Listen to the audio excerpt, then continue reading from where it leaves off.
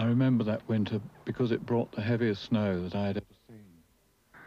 Snow had fallen steadily all night long, and in the morning I woke in a room filled with light and silence. The whole world seemed to be held in a dreamlike stillness.